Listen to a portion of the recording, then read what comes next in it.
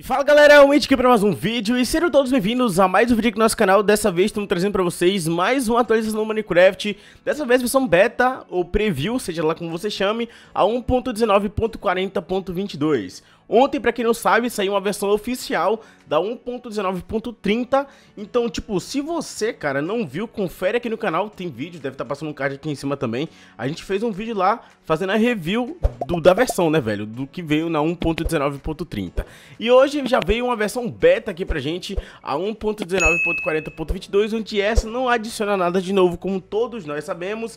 Ela simplesmente só faz correções de bugs e algumas paridades. Exemplo, Andy, me uma paridade boa aí. Então, paridade só tem essa daqui mesmo, cara. Os jogadores e espectadores não reproduzem mais os sons de entrar ou sair das colunas de bolhas. Como assim, Andy? Tem um videozinho aqui, ó, que eu vou tentar mostrar pra vocês. O cara tá no modo espectador, né, velho? E ele meio que entra na coluna de bolhas, ó. Tá ligado?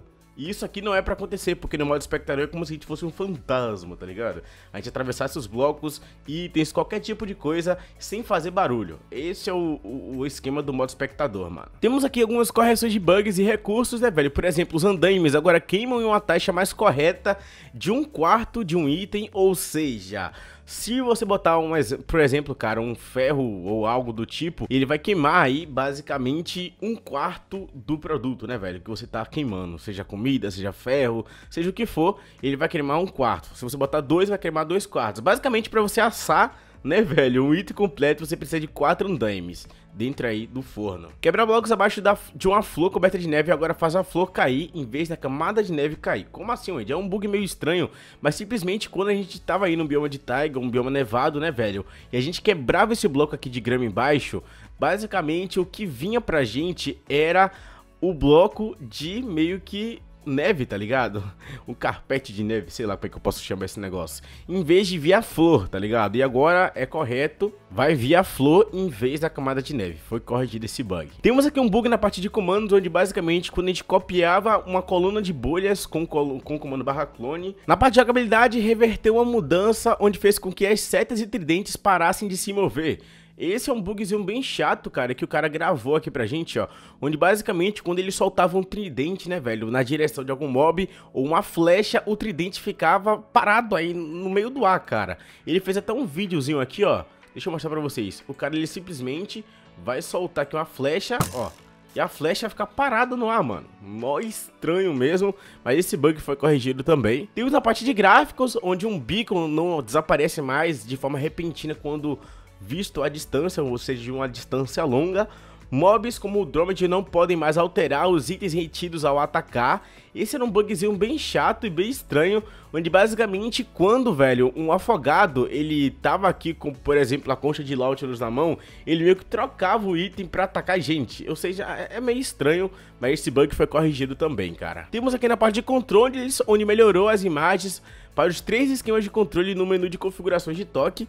E, mano, é algo simples, mas que, tipo, não vale muito a pena, né, cara? A gente tá meio que mostrando isso. É só você entrar no seu Minecraft que você vai ver aí essa diferença. Agora eu tô aqui no meu Minecraft no celular, cara, e eu quero mostrar algo pra vocês que chegou nessa versão, né, velho? Eu assim que abri o, o, o jogo, né, velho, eu vim aqui na parte de configurações, justamente o ponteiro também descobriu isso. E, mano, a gente descobriu, olha aqui que tem aqui embaixo, cara. Mas apareceu um frame rate máximo. No caso, essa parte aqui é experimental e aqui a gente pode setar quantos FPS o nosso jogo vai rodar. Por um exemplo, se eu tivesse no meu PC e tivesse meio que disponível de forma ilimitada, né, velho? A gente iria ver que eu deixaria aqui limitado e iria para bastante FPS. Inclusive, cara, eu tô aqui no meu PC olhando pra ver se a atualização saiu, eu quero mostrar pra vocês isso. Mas como eu tô aqui no meu celular e meu celular ele não tem o desempenho bom, tá ligado? Não é um celular bom pra caramba.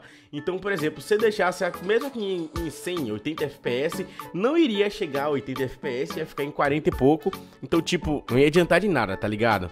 Se eu botar, por exemplo, aqui, ó, em 40 FPS, vocês podem ver que ali em cima, velho, vai ficar no máximo 40, não vai passar disso. Se eu botar 30, vai descer para 29.1, meio que ficar no máximo no limite ali mesmo, ó. Se eu deixar em 10 FPS, cara, vai ficar também no limite de 10 FPS, vai ficar bem lento aqui, ó.